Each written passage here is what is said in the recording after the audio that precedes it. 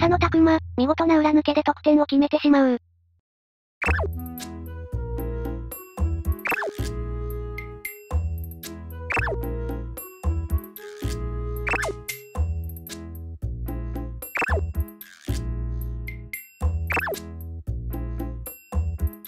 ますぎる。浅野さすがすぎる。神トラップすぎて草。まさに裏抜けの見本って感じ。持ち味出てるな。定期的に神トラップを見せてくれる男。これはドイツを破壊する浅野。打倒フリックのため密かに牙を研ぐジャガー怖すぎ。これは今季楽しみやな。